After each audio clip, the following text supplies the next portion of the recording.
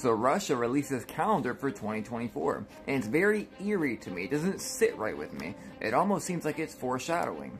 We're gonna go through a few of the pictures. By the way, TikTok is mad at me, so if you see this video on your For You page, let me know in the comments, please. First off, why is there Russian military right in front of the Capitol? And why does it look like a huge end of America scenario is going on right behind me? And don't forget, Putin has been meeting with Z all of 2023. In their last meeting, Z had said that there were changes coming not seen in over a hundred years.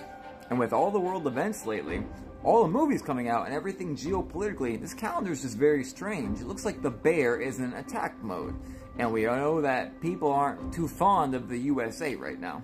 Soldier with the cat showing displaced animals where combat would be happening. Here's the US Capitol again, and here is Putin, all buffed up and ready to go to war, kind of like that bear was. And as you saw in that tweet, the calendar was released by the Russian feds, and that's actually what the lettering is on this car, the FSB.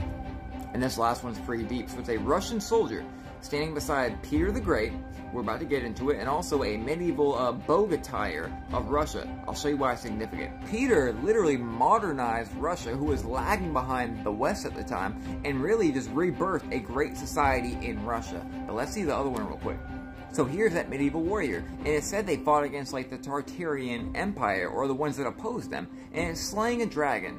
So we have Peter the Great showing great rebirth of Russia. We have the Baron attack mode, Capitol overthrown, him slaying the dragon. Something's about to go down.